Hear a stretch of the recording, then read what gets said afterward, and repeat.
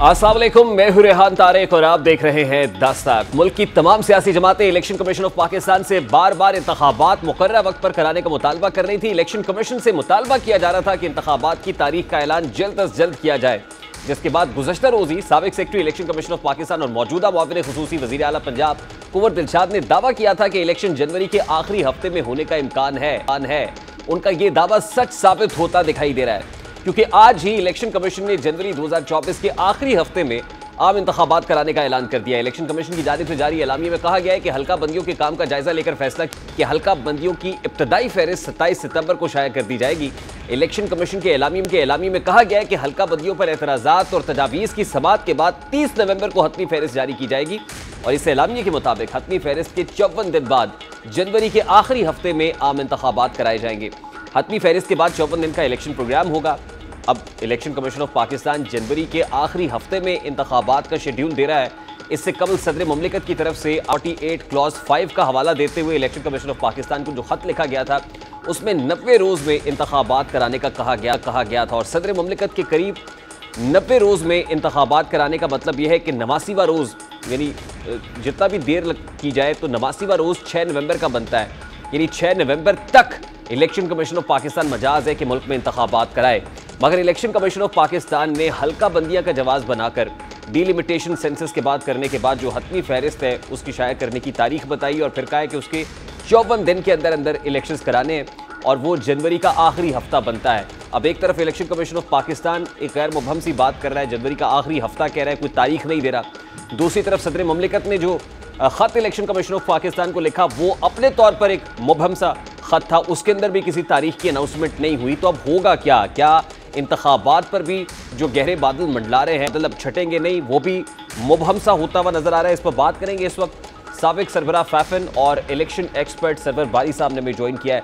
असल बारी साहब, बहुत बहुत शुक्रिया आपके वक्त के लिए। बारी साहब, सबसे पहले तो ये कहिएगा कि इलेक्शन कमीशन ऑफ़ पाकिस्तान कहता है कि जनवरी के आखिरी हफ़्ते में, यानी अगले बरस जनवरी के आखिरी हफ़्ते में इंतबात हो सकते हैं। एक तरफ़ इलेक्शन कमीशन ऑफ़ पाकिस्तान का ये एलामिया है, दूसरी तरफ़ सदर ममलिकत का ख़त है। तो इलेक्शन कमीशन के इस एलामिया की क्या कानूनी और आइनी हैसियत है?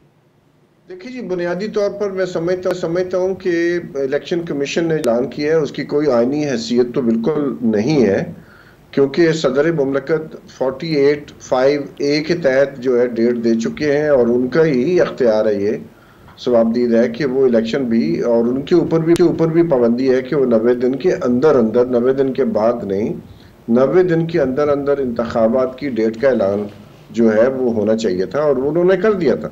अब इलेक्शन कमीशन की आइन और कानून के तहत ये ज़िम्मेदारी थी कि वो नब्बे दिन के अंदर जो उन्होंने डेट दी है सात नवंबर है या छह नवंबर है उसके अंदर अंदर इलेक्शन शेड्यूल का ऐलान करते सर, थे वो तो लेकिन प्रैक्टिकली नहीं हो सका ना सर। उसके बाद सीसीआई का इजलास हुआ फिर एंडोर्समेंट मिल गई इलेक्शन कमीशन ऑफ़ पाकिस्तान को भी जवाब मिल गया इलेक्शन एक्ट की सूरत में भी। लेकिन सीसीआई का इजलास पहले भी हो सकता था जानबूझ के इंतज़ार आप बजा कह रहे हैं। आप आप बिल्कुल दुरुस्त फरमा रहे हैं। हो सकता था ताखिर हुई। फिर इलेक्शन एक्ट में तरमीम का जवाब भी पेश किया जाता है ना कि सेक्शन 57 के अंदर तरमीम के बाद जो है वो इलेक्शन कमीशन ऑफ़ पाकिस्तान का इख्तियार है। अब सदर ममलिकत ने भी तारीख तो अनाउंस नहीं की। उन्होंने भी कॉन्सल्टेटिव सा एक लेटर दिखा जिसमें ये लगता था कि शायद एतराफ़ है कि इलेक्शन कमीशन ऑफ़ पाकिस्तान ही हतमी तारीख का ऐलान करेगा। और ये था कि बिल्ली के गले में घंटी पहले कौन बांधेगा? अब इलेक्शन कमीशन ने बाँध दी है। सदर ममलकत ने सदर ममलकत ने वाज डेट दी है। इलेक्शन कमीशन ने अभी भी डेट नहीं दी। उन्होंने महज ये कहा है कि जनवरी के आखिर में इंतबात करवाए जाएँगे। हम्म। तो इसी तरह जिस तरह अगर सदर ममलकत ने आपकी नज़र में उन्होंने कोई वाज बात नहीं की लेकिन उन्होंने वाज डेट दी है। और इलेक्शन कमीशन की आइन के तहत जो कि बालादस्त है सुप्रीम है कानून की नस्बत तो मेरा ख्याल है इलेक्शन एक्ट जो है सुप्रीम नहीं है। पाकिस्तान का आइन सुप्रीम है। उसमें कोई रद्दबदल नहीं किया गया, उसमें कोई अमेंडमेंट नहीं की गई। तो बेसिकली तो ये बुनियादी बात जो है फंडामेंटल बात ये है कि इलेक्शन इलेक्शन कमीशन को चाहिए था कि वो सात नवंबर से पहले पहले करवाता। अब इलेक्शन उन्होंने डेट नहीं की लेट कर दिया है, आज उन्होंने डेट दी है। और अचानक जो है, वो उन्होंने कहा है कि जनाब एक हफ़्ते में किया जाएगा। ये बहुत ही मुबहम फैसला है। और मेरी नज़र में गालबन इसकी वजह जो है, वो बहुत सारी ऐसी वजूहत हैं जिनका उन्होंने ज़िक्र नहीं किया। लेकिन मामला ये है कि जो डीलिमिटेशन है, अगर पाकिस्तान में जो मुख्तलिफ़ सूबों के दरमियान पॉपुलेशन है, उसकी रेशो में तब्दीली नहीं आई तो इतनी ज़्यादा देर जो है डीलिमिटेशन में करने की ज़रूरत भी नहीं थी, क्योंकि डीलिमिटेशन का प्रोसेस जल्दी मुकम्मल हो सकता था। लेकिन उसमें भी ताखीर की गई, और हमें यह भी मालूम है कि मई में चूँकि प्रोविजनल रिज़ल्ट दिए गए थे और फाइनल रिज़ल्ट भी मई में भी हो सकते थे। सीसीआई का जलास तो बिल्कुल मैं समझता हूँ और बहुत सारे माहरीन की नज़र में भी यही है कि सीसीआई का जलास में दो चीफ मिनिस्टर ऐसे थे जिनकी कोई आईनी और कानूनी at this point in time देखिए इलेक्शन कमीशन ऑफ़ पाकिस्तान का फैसला भी बड़ा मुबहम है। सदर ममलिकत का लिखा गया ख़त भी बड़ा मुबहम है। तो जो इलेक्शंस के ऊपर जो बादल मंडला रहे हैं इंतबात से मुतालिक गैर वाज सिचुएशन है कैफियत है। क्या उनका होना भी अब आपको मुबहम दिखाई दे रहा है? जी, मुझे तो लगता है कि ये सिर्फ़ इसलिए किया गया है कि एक तो ये जो जो केसेस हैं सुप्रीम कोर्ट के अंदर, उसका, उसको प्रियम्प्ट करने की कोशिश की गई है। दूसरा गालबन ये भी हो सकता है कि काकड़ साहब वहाँ यूएन और न्यूयॉर्क में बैठे हैं। बहुत सारे हमें मालूम है कि बहुत सारी ताकतें जो पाकिस्तान को इमदाद देती हैं, वो मुसलसल पूछ रही हैं कि इलेक्शंस पाकिस्तान में कब होंगे। हर शख्स की ज़बान पर, हर डिप्लोमेट की ज़बान पर एक ही सवाल है कि पाकिस्तान की इलेक्शंस कब होंगे होंगे भी या नहीं होंगे, अगर होंगे तो क्या फ्री एंड फेयर होंगे? तो मेरा ख्याल है वो दबाव कम करने के लिए अचानक इन्होंने एक मुबम फैसला किया है और उसकी वजह से मजीद अबहम पैदा हुआ है। तो मेरा अपना ख्याल है कि ज़्यादा पॉलिटिकल डिसीज़न है रादर देन टेक्निकल बहुत बहुत शुक्रिया सरवर बारी साहब, सबक सरबरा फैफन इलेक्शन एक्सपर्ट हमारे साथ मौजूद थे और कह रहे हैं कि ये एक पॉलिटिकल डिसीज़न है। यानी उन्हें दिखाई दे रहा है कि it's just an eye wash ये जनवरी के आखिरी हफ़्ते में इलेक्शंस कराने का मामला भी को हतमी नज़र नहीं आ रहा और ये पोलिटिकल सा डिसीज़न है अब जबकि इलेक्शन कमीशन ने आम इंतबात का ऐलान कर दिया और शेड्यूल भी जारी किया है, लेकिन दूसरी तरफ़ मुल्क के सियासी के सियासी मैदान में कुछ सवालों के जवाब मिलना अभी भी बाकी है। इलेक्शन के शेड्यूल का ऐलान होना अपनी जगह, लेकिन पीपल्स पार्टी नून लीग समेत तमाम छोटी बड़ी सियासी जमातों में इंतबी मैदान में मुश्किल का सामना है। किसी को लेवल प्लेइंग फ़ील्ड मिलने का इंतज़ार है तो कोई जमात लेवल प्लेइंग फ़ील्ड मिलने के बाद एहतसाब का परचम बुलंद किए हुए पीटीआई जैसी जमात को तो अपनी बकाई खतरे में महसूस हो रही है।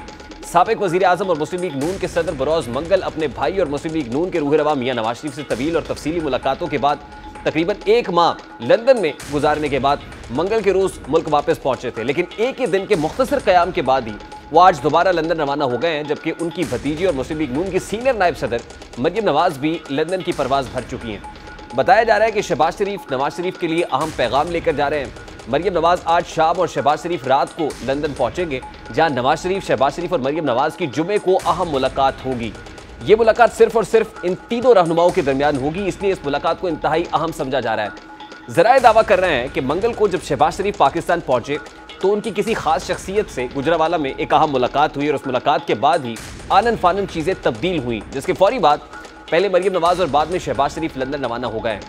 शहबाज शरीफ की वतन वापसी और दोबारा लंदन रवानगी के दौरान एक अहम डेवलपमेंट नैब के हवाले से भी सामने आई, जिसको उनके लंदन जाने से जोड़ा जा रहा है। नैब ने नवाज़ शरीफ समेत बहुत से सियासी रहनुमाओं के केसेस दोबारा खोल दिए और जराए दावा कर रहे हैं कि नैब इस बार पहले से कहीं ज़्यादा मज़बूत शिकंजा कसने जा रहा है, जबकि एहतसाब अदालत के जज मोहम्मद बशीर तो ये तक कह रहे हैं कि अब नैब में ट्रक भर के केसेस का रिकॉर्ड आ रहा है। शहबाज शरीफ की लंदन वापसी भी नवाज़ शरीफ के दो रोज पहले किए गए खिताब और कुछ मखसूस किरदारों, जिनमें सबक army chief general Qamar Javed Bajwa भी शामिल हैं, उनके एहतसाब के बाद हुई है। इस खिताब के बाद ही गुजरावाला में उनकी अहम शख्सियत से मुलाकात, या अहम शख्सियत कौन थी उसने शहबाज शरीफ को क्या पैगाम दिया इसका खुलासा होना भी बाकी है। तीन रोज़ की इन अहम डेवलपमेंट्स ने मुस्लिम लीग नून के हवाले से बहुत से सवाल खड़े कर दिए। हैं सवाल यह है कि शहबाज शरीफ किसी आम शख्सियत का पैगाम लेकर नवाज़ शरीफ के पास गए हैं। सवाल तो ये भी है कि यह पैगाम नवाज़ शरीफ के एहतसाब के बयानिए के बाद दिया गया तो क्या मुबैना तौर पर इस्टेब्लिशमेंट को उनका ये उनका ये बयानिया पसंद नहीं आया? और सवाल तो ये भी है कि इस बदलती सूरत हाल में नवाज़ शरीफ की मुल्क वापसी की तारीख भी बदलने जा रही है। क्योंकि नवाज़ शरीफ के खिताब के बाद से ही मुस्लिम लीग नून का भी नवाज़ शरीफ के इस्तबाल के हवाले से बयानिया खासा तब्दील होता हुआ महसूस हो रहा है। पहले कहा जा कि नवाज़ शरीफ का एयरपोर्ट पर इस्तेबाल करने के लिए एक मिलियन से ज़्यादा लोग एयरपोर्ट आएँगे, लेकिन अब बताया जा रहा है कि नवाज़ शरीफ के इस्तकबाल के लिए एयरपोर्ट पर चंद ही लोग जाएँगे। बाकी लोग मीनार पाकिस्तान जलसा गाह पहुँचेंगे ताकि जुलूस से आवाम को कोई परेशानी ना हो। अब फ़िलहाल तो ऐसा लग रहा है कि नवाज़ शरीफ की वापसी कुछ कटाई में पड़ चुकी है, लेकिन अगर नवाज़ शरीफ अपने प्लान के मुताबिक वतन वापस आते भी हैं तो सवाल यह है कि कैसे मुमकिन है कि वो एयरपोर्ट पर उतरते ही बगैर किसी रोक टोक के मीनार पाकिस्तान तक पहुँचेंगे, क्योंकि अभी तक उनका इश्तहारी का स्टेटस जू का तू बरकरार है स्कॉन्डर है। अभी तक मुस्लिम लीग नून की लीगल टीम की जानब से किसी भी अदालत में कोई दरखास्त दायर नहीं की गई जो उन्हें एयरपोर्ट से डायरेक्ट जलसा गाह पहुँचने का रिलीफ मुहैया कर सके, बल्कि मुस्लिम लीग नून के कुछ अपने रहनुमा और कुछ दीगर सियासी रहनुमा तो ये तक कहते हैं कि नवाज़ शरीफ को मुल्क वापसी पर जेल जाना पड़ सकता है। अब ऐसा ख्याल किया जा रहा है कि नवाज़ शरीफ की दो रोज पहले ग्रैंड मुशावरती इजलास में की गई तकरीर ने हालात को यकसर तब्दील करके रख दिया है। इस तकरीर में नवाज़ शरीफ एक बार फिर 2017 में उनकी हुकूमत को मुबैना तौर पर घिराने में मुलविस किरदार किरदारों के एहतसाब की बात कर रहे थे। ये अलग बात है कि ये किरदार वक्त और पसंद, नापसंद की बुनियाद पर मुस्लिम लीग नून ही की जानब से बदलते रहे। शुरू में Nawaz Sharif general Bajwa, general Faiz Amir, justice Ejazul Hasan justice Saqib Nisar का नाम लेते थे और उन्हें अपनी हुकूमत गिराने का जिम्मेदार ठहराते थे, लेकिन बाद में चश्मे फलक ने वो नज़ारा भी देखा।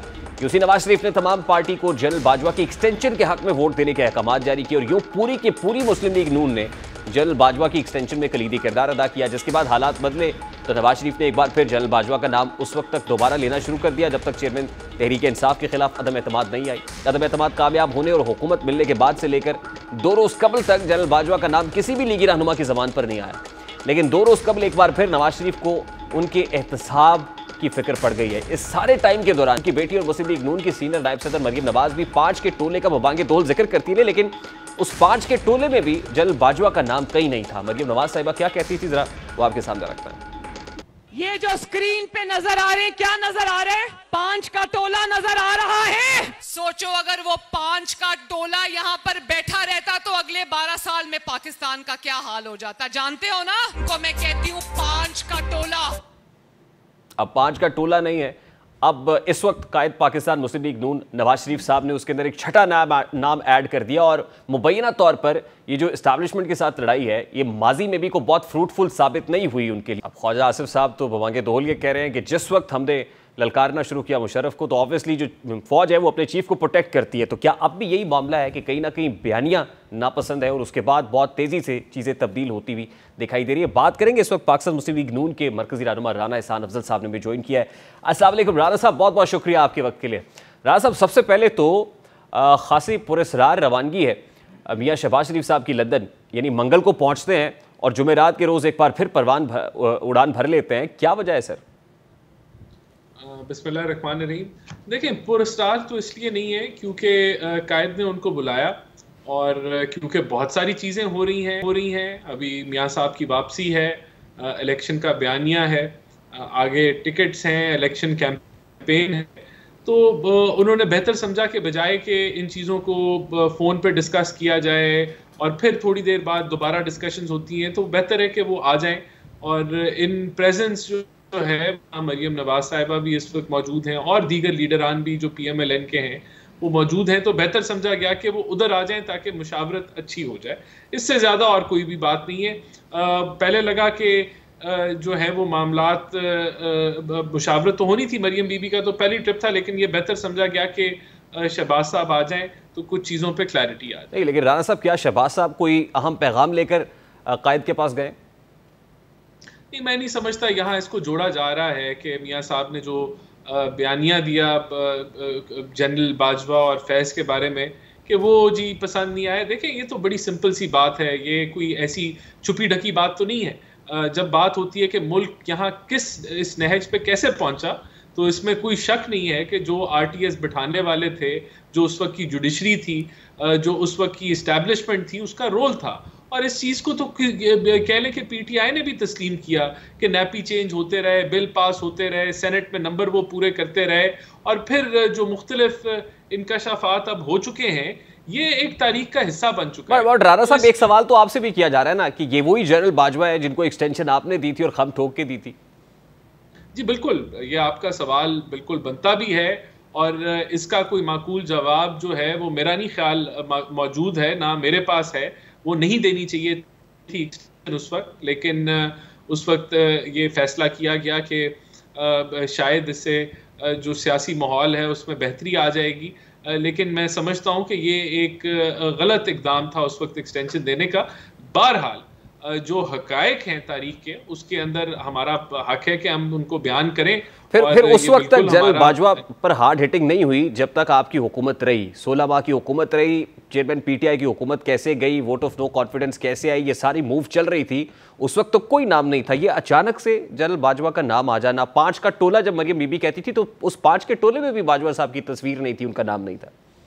देखिए, ये भी आप ठीक कह रहे हैं और उसकी एक बड़ी सिंपल सी वजह है कि पिछली हुकूमत एक कोलिशन हुकूमत थी और जो भी फैसले किए जाते थे, वो वो कोलिशन की मर्ज़ी से किए जाते थे। अगर उस वक्त की कोलिशन के पार्टनर्स हम ये ऐसी बात करते और वो लोगों को नापसंद आती तो शायद वो हुकूमत ना रहती। लेकिन मुल्क के लिए उस वक्त इकट्ठे होना और सिर्फ़ उन एजेंडों पे काम करना जो मुल्की उस वक्त के लिए जो अहम थे वो किया गया। लेकिन आज हमारे पे ऐसी कोई पाबंदी नहीं है कोई कोलिशन नहीं है तो हम आज़ादाना तौर साहब देखिए मसलहत का शिकार तो फिर आप भी हुए ना कि मसलहत के तहत खामोशी इख्तियार करनी है फिर मसलहत के तहत बोलना शुरू कर देना है। बेनिफिशरी तो बाजवा साहब के आप भी हैं कि उन्होंने मियाँ साहब को इवन जनरल फैज़ उस वक्त डी जी आई एस आए थे जब मियाँ साहब लंदन गए हैं।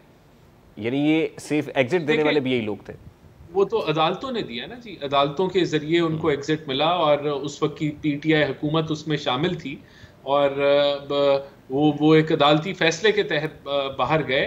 बाकी आप ठीक कह रहे हैं सोलह माह के अंदर इस चीज़ का ज़िक्र नहीं हुआ। उसकी वजूहत वो कोलिशन हुकूमत थी। आज कोलिशन एग्जिस्ट नहीं करती हम आज़ादाना तौर पे। और देखें मैं फिर रिपीट करूँगा ये अब तारीख का पक्का हिस्सा बन चुका है। लोग ये हकायक आम आदमी के पास पहुँच चुके हैं और इनको अगर हम दोहराते हैं और इसके ऊपर अगर हम बात करते हैं तो वो मुल्क के मुस्तकबिल के लिए बेहतर होगा कि आइंदा की स्टैब्लिश तो मियाँ साहब ने सर जो बयानिया दिया है आप उससे इतफाक करते हैं और बाकी क्यादत भी खफा नहीं है। आपको लगता है कि वाकई बाजवा साहब का या जल फैज़ हमीद का नाम लेके फिर एहतसाब का मुतालबा करना चाहिए और फिर ये जो मट्टी ना पाओ की पॉलिसी है इस दफ़ा के अब मट्टी पाओ नहीं चलेगा एहतसाब होगा। तो पहले एहतसाब और फिर इंतखब की बात करते हैं देखें जो पाकिस्तान के जो संगीन मसाइल हैं वो बरकरार रहेंगे जब तक ये रवायत जो है मुदाखलत की ख़त्म नहीं होती। तो मेरे ख्याल से इसका तस्करा करना या इसके ऊपर बात करना, ये तब तक चलता रहेगा जब तक मुदाखलत होती रहेगी। आज हमें इस चीज़ को हम इतराफ़ करते हैं कि मुदाखलत नहीं हो रही। आज की इस्टेब्लिशमेंट का कोई सियासी मुदाखलत के अंदर कोई रोल नहीं है। अच्छी बात है। उनका बयानिया भी यही है कि वो नहीं करना चाहते उसको राना साहब ये तो मीठा मीठा हाप और कड़वा कड़वा थू है ना सर? ये नहीं, मेरा नहीं है। देखे नहीं नहीं ये मसलियत नहीं है। आ, आ, मैं समझता हूँ कि आज अगर किसी ने कोई गलती की है कानून तोड़ा है कोई फौजी तनसीबात के ऊपर हमला आवर हुए तो वो एक अलादा पहलू है उसके ऊपर सजा जजा होनी चाहिए। लेकिन सियासी मुदाखलत को तो हम नहीं एक्सेप्ट करेंगे और ना किसी जमहूरी जमात को करना चाहिए। और इसके ऊपर अगर बात होगी तो बेहतरी आएगी बात नहीं होगी तो फिर ये मामला तो चलते रहेंगे। तो इसके ऊपर मियाँ साहब ने अगर बात की है तो ये ऐसी कोई बात नहीं है सर देखिए सबक आर्मी चीफ पर मियाँ साहब ने तनकीद करना शुरू की है या अपनी जो तोपों का रुख है उस तरफ़ कर दिया है। लेकिन ख्वाजा आसिफ साहब यही कहते रहे हैं कि हमेशा फ़ौज अपने चीफ को प्रोटेक्ट करती है और हमारी बहुत बड़ी गलती थी कि हमने मुशरफ साहब के केसेस ओपन करने की बात की या वो हार्ड हिटिंग उस वक्त की और उसका खमियाजा हमने भुगता। तो क्या फिर दोबारा से खमियाजा भुगतने के लिए तैयार है? देखें ये हकायक है। ये भी हकायक हैं कि जब मुशरफ के को सज़ा दी एक जज ने तो उस वक्त की हुकूमत पीटीआई ने कहा कि ये जो मरहूम जज आज मरहूम हो चुके हैं कि ये अपने हवास खो खो बैठे हैं। इस हद तक जो है, वो हुकूमतें उस वक्त स्टैंड नहीं ले पाती। तो ये, मैं तो समझता हूँ, एहतसाब होना चाहिए और उसका जो तरीक़ाकार तभी मुमकिन है कि अगर जो सियासी स्टेक होल्डर्स हैं, वो वन पेज पे आ जाएँ। और इसके अंदर मेरे ख्याल से अगर इस्टेब्लिशमेंट ने ये तहिया कर लिया है कि वो आगे मुदाखलत नहीं करेंगे तो उनको भी कोई इतराज़ नहीं होगा कि जिन लोगों ने वायलेशन की है, अगर उनका एहतसाब हो जाए। अगर तो ये तो तभी प्रॉब्लम बनेगा, अगर आज की या कल की इस्टेब्लिशमेंट ये इरादा रखती है कि उसने इंटरफेयर सियासी जो मैदान है उसमें करना है तो तब वो इसको माइंड करेगी। लेकिन अगर ऐसा नहीं है तो फिर मेरा नहीं ख्याल कि उसकी तरफ़ से रिएक्शन कोई आना चाहिए। अगर किसी ने भी अपनी ड्यूटी में जो है वो करते हुए अपने मैंडेट से बढ़ के काम किया है जो तौर पर इजाज़त नहीं है तो उसको गलत कहना तो मैं समझता हूँ कि इसमें तो कोई पीपल स्टिल डाउट के मियाँ नवाज़ शरीफ इसे इक्कीस अक्टूबर को वापस पाकिस्तान पहुँचेंगे क्योंकि एहतसाब अदालत इस्लामाबाद की वहाँ पर नैब केसेस का ट्रक पहुँच गया है जज बशीर की अदालत के अंदर। तो क्या ये भी एक बहुत बड़ी वजह हो सकती है कि इक्कीस अक्टूबर की तारीख भी तब्दील हो जाए? कल जो बड़ा इंपॉर्टेंट इजलास होने जा रहा है, ये जो ट्राइका बैठेगा मरीम नवाज़ साहिबा शबाज शरीफ साहब और मियाँ नवाज़ शरीफ साहब का तो उसमें ये फैसला भी हो सकता है? नहीं जी ये फैसला ऐसा कोई नहीं होगा। इक्कीस की डेट दे दी गई है, उसके मुताबिक तैयारी चल रही है। और अगर कोई तब्दीली आएगी तो उस पर हम ज़रूर तबसरा कर सकते हैं, लेकिन मेरे अंदाजे के मुताबिक कोई तब्दीली इसमें नहीं आएगी। इक्कीस अक्टूबर को मियाँ साहब जो हैं वो हमारे साथ मौजूद होंगे और हम उनका एक भरपूर एक आलीशान और हिस्टोरिक वेलकम करेंगे। तो वो आएँगे तो जेल जाएँगे या मीनार पाकिस्तान पहुँचेंगे? वो जब आएँगे तो फिर देखा जाएगा ये लीगल टीम देख रही है। वो लीगल टीम इन चीज़ों को केटर करके आ, सारा कुछ हम आगे बढ़ेंगे कानून को हाथ में नहीं लेंगे। बहुत शुक्रिया राना साहब बहुत शुक्रिया आपके वक्त के लिए। राना इसाद अफजल मौजूद थे गुफ्तु आपने सुनिए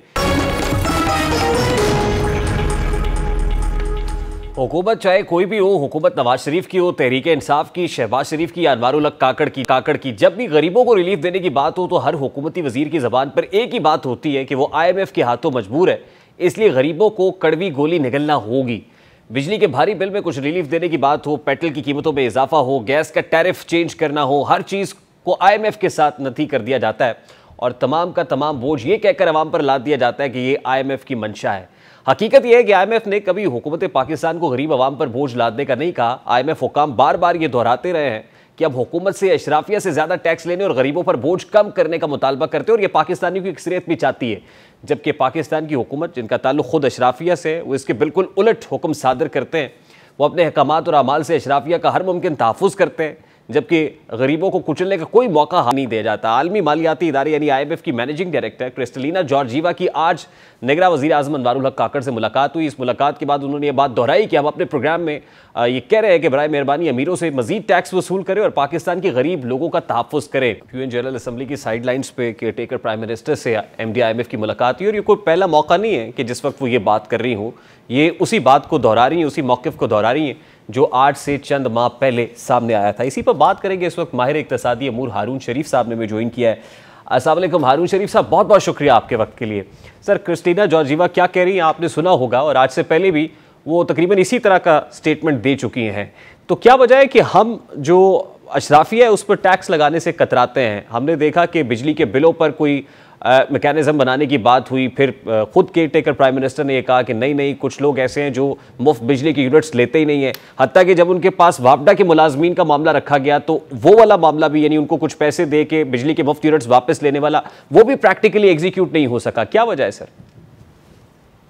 जी, इस पे दो चीज़ें हैं। एक तो क्रिस्टीना बिल्कुल ठीक कह रही है। मेरी फॉर्मल कॉलिग भी है वर्ल्ड बैंक की, और मैं बहुत सालों से उनकी थिंकिंग को समझता हूँ। देखिए, मसला इस वक्त ये है कि आईएमएफ हमें ये कह रहा है कि आपका ऑलरेडी बजट का खसारा बड़ा है। या तो आप मजीद इशाफिया पे टैक्स लगाएँ और उसको रीडिस्ट्रीब्यूट करें जो लोग मुस्तक हैं, जो पिस रहे हैं, जिनके ऊपर मनफी असरात पड़ रहे हैं उनकी लाइफ स्टाइल पे। या आप अपने अखराज को कम कर लीजिए। अनफॉर्चुनेटली हुकूमत दोनों काम नहीं कर रही।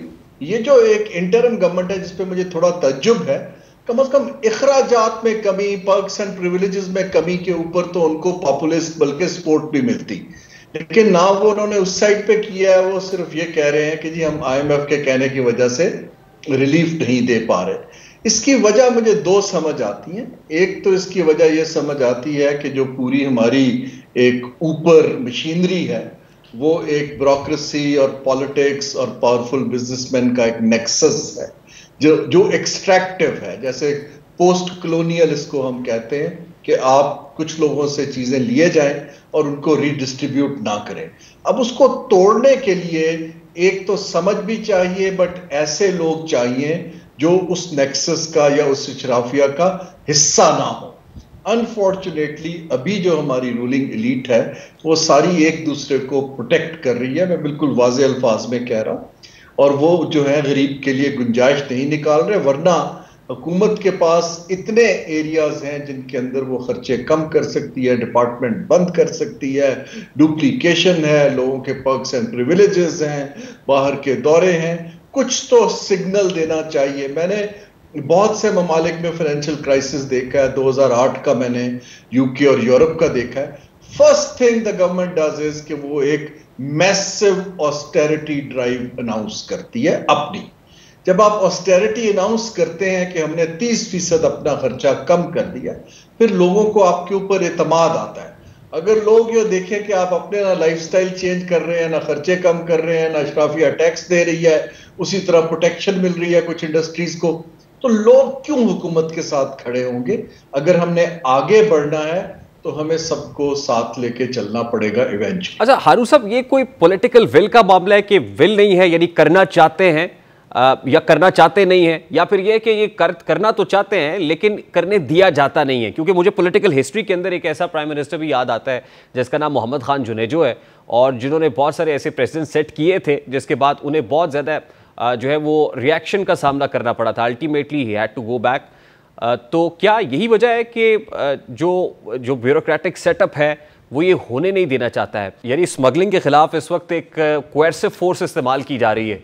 लेकिन interior minister of the country ये कह रहा है कि आपको पता है, हम इसको बंद नहीं कर सकते नहीं कर सकते, क्योंकि टॉप आठ जो लोग हैं, ऊपर बैठे हुए हैं, वो बड़े बेनिफिशरी हैं। How do you see this जी, देखिए, इस वक्त अनफॉर्चुनेटली मेरिट के ऊपर कहीं काम नहीं हो रहा है। ना ब्रोक्रेसी के अंदर हमें मेरिट दिखाई देता है ना पॉलिसी मेकिंग के अंदर मेरिट दिखाई देता है, ना जो हमारे ये की लीकेजेस की जगह है, इदारे हैं, इनके जो हेड्स हैं, इनको ट्रांसपेरेंटली हमें दिखाई देता है कि समबडी जिस पे लोग ट्रस्ट करें।